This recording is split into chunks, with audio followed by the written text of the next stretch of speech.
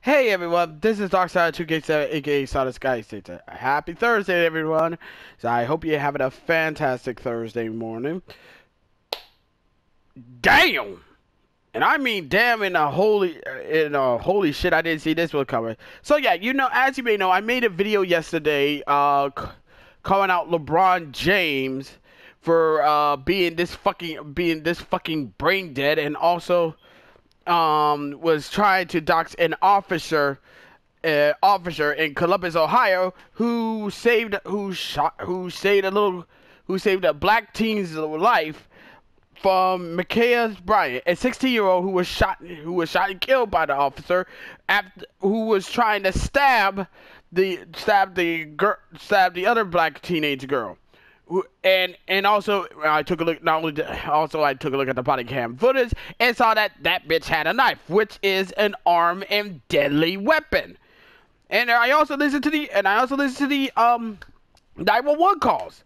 So basically, to me, it's a just it's justified. However, for LeBron James, he decided to go go on fucking Twitter the other day, uh other day, well, yesterday to be precise, and put out and put out the officer's picture and said with a tweet called "You're next" with hashtag accountability. And he got a lot of blow, and of course he got a blowback from, Travis, uh, Clay Travis of Outkick. Love his, love his stuff, man. Love his stuff. And well, he deleted a tweet. And I thought maybe he'll shut the fuck up and don't do anything stupid, right? if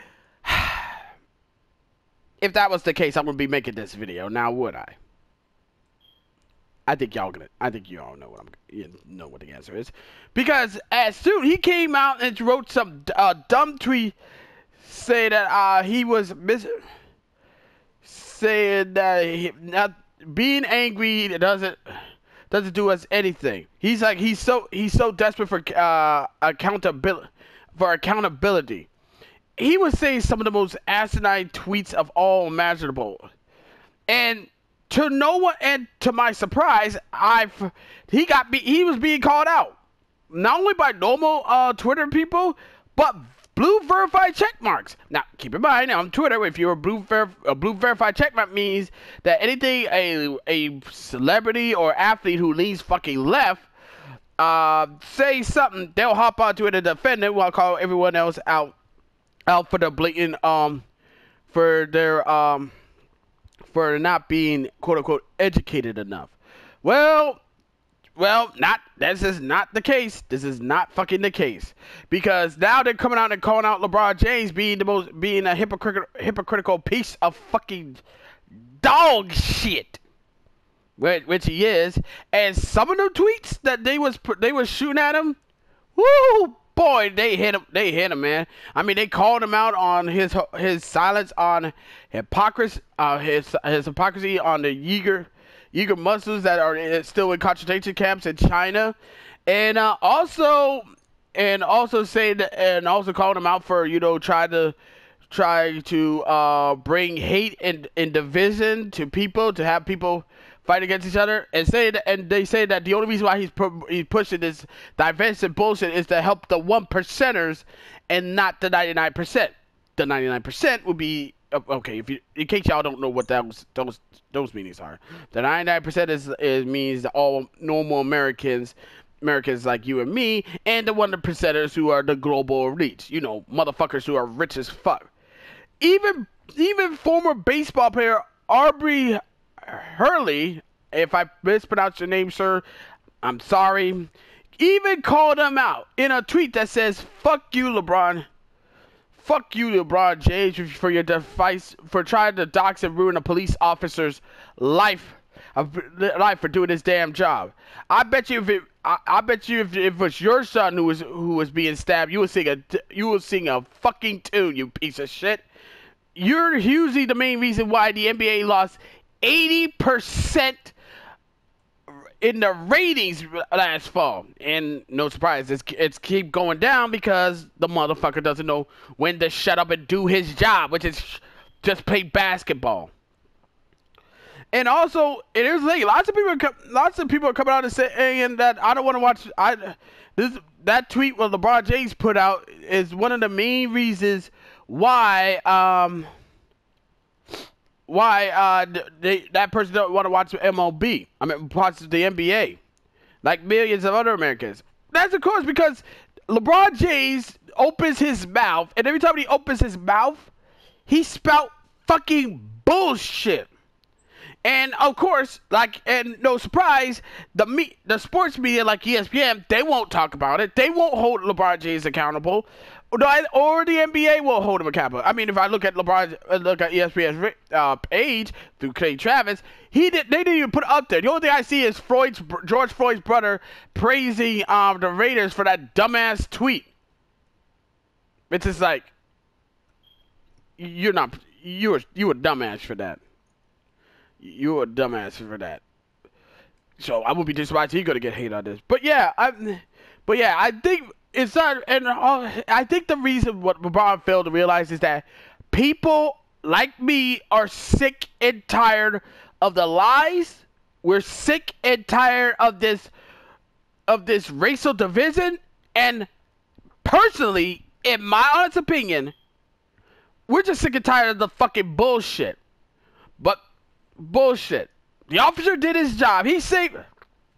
He said that uh he said the the black fem- uh, black te- female teenager for being murdered by another black female teenager. Yet for some reason LeBron James is upset that the officer killed Ma'Khia Bryant, the black teenager who was holding a knife, go, going to kill a black, kill another black female teenager. So by what I'm hearing from LeBron James, what he said in those tweets, he said that he is all that he is a okay with black on black murders.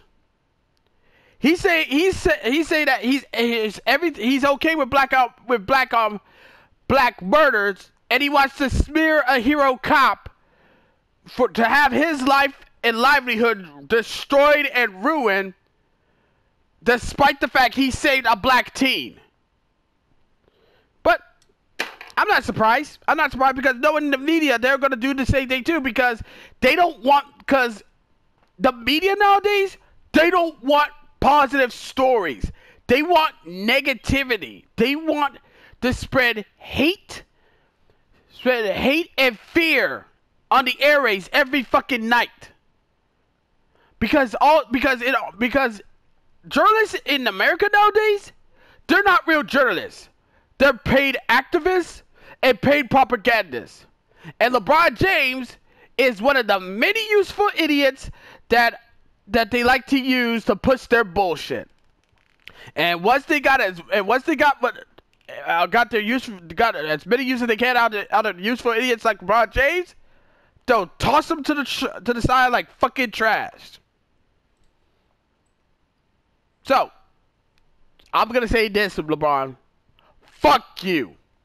Fuck you. You wanna you you wanna trash a cop who saved the life of a black teen for being murdered by a black teen means that you don't means that you fucking support black on black murders. You support us being killed by our us being killed on our own. Fucking hell. Now I see why. Now I see why white people is uh, care about. I don't see why white people would care about each other than we do, than, than black people do. You want to know why? I'll tell you guys why. Because because because say what you want about white people, at least they know how to. At least for the most part, at least they know how to get along and work together.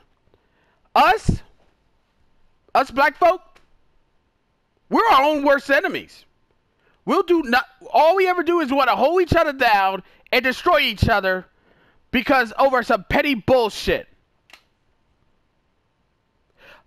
And people like LeBron James will do will do nothing but do that shit to ruin our own fucking to lead us to our own fucking demise. Fuck you. You fucking racist bigot ass bitch.